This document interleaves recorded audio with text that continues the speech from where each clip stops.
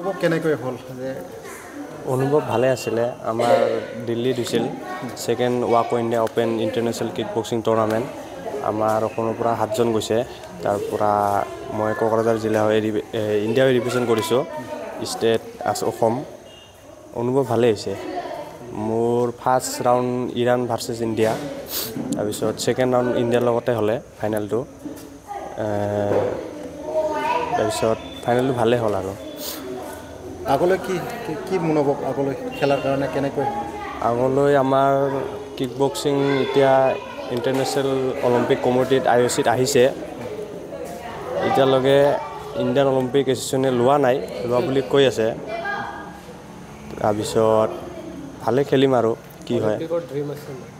অলিম্পিকৰ ড্ৰিম আছে আগলৈ নেশ্যনেল ইণ্টাৰনেশ্যনেল এনেকৈ গেম আৰু খেলিবৰ কাৰণে? খেলিবৰ কাৰণে আমাৰ আৰু টু থাউজেণ্ড টুৱেণ্টি থ্ৰীত ৱৰ্ল্ড কম্বেট গেম আছে। তাৰ কাৰণে প্ৰিপেৰেশ্যন কৰিম এতিয়া কি হয়। ঠিক। ফাৰ্ষ্ট টাইম ইণ্টাৰনেশ্যনেল এইবাৰ ফাৰ্ষ্ট টাইম খেলিছোঁ। আগতে নেশ্যনেল খেলিছোঁ যদিও এইবাৰ প্ৰথমবাৰ ইণ্টাৰনেশ্যনেল খেলি। ভালেই লাগিছে। যিয়ে হওক গ'ল আনিব নোৱাৰিলে যদিও। প্ৰথম ৰাউণ্ড ভালেই হৈছিল। প্ৰথম ৰাউণ্ড ইৰাণৰ লগত হৈছিল মোৰ। নেক্সট ৰাউণ্ডত মোৰ বেয়া হৈছিল নেক্সটৰ কাৰণে কেনেকৈ প্ৰিপেৰেশ্যন কৰিব? আৰু হাৰ্ড কৰিব লাগিব। কাৰণ এইবাৰ গম পাইছে না বেছি লাইটলি লোৱা নাযায় কাকো। ড্ৰিম কি? কি ক- ভাবিছা ড্ৰিমত মানে ভাল খেল খেলিব ডাঙৰ খেল খেলিব এনেকৈ কিবা?